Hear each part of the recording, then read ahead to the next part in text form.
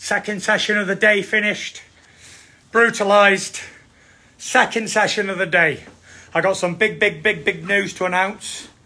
Uh, I'm about to bring in my sparring partner, Josh, the Tartan Tornado Taylor. He's coming in next week to uh, to start sparring for the Bitch Usyk. Cannot wait. Training camp's going fantastic. I can't remember in recent memory ever having a better camp. Absolutely on fire!